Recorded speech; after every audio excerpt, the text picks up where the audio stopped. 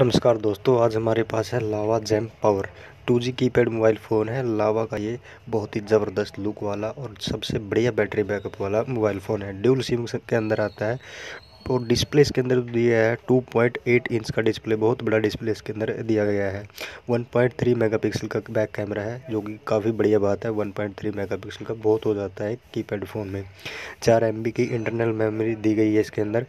पच्चीस यानी two five की बिग बैटरी पावरफुल बैटरी इसके अंदर मेन हाईलाइट यही है।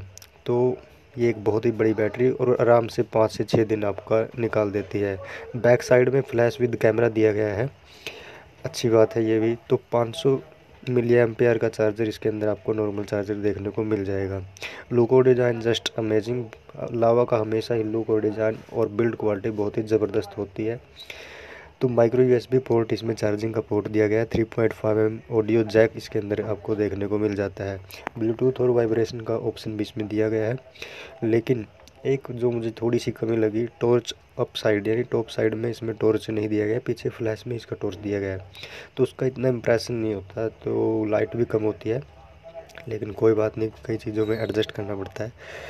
तो लिंक मैं आपको डिस्क्रिप्शन में दे दूँगा, वहाँ से आप इसको बाय कर सकते हैं अमेज़ोन से।